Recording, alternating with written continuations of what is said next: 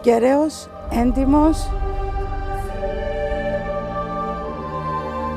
Δεν μπορώ να πω ότι ένιωσα καμιά χαρά. Βαθύτατη συγκίνηση νιώθω.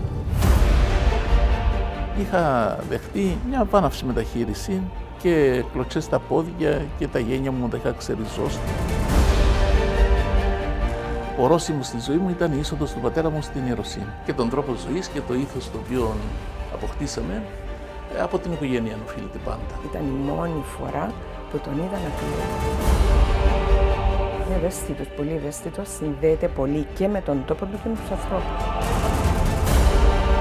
Νομίζω και μέχρι τώρα οι μαθητές έχουν α- αγαθές αναμνήσεις από μένα και εγώ από αυτούς.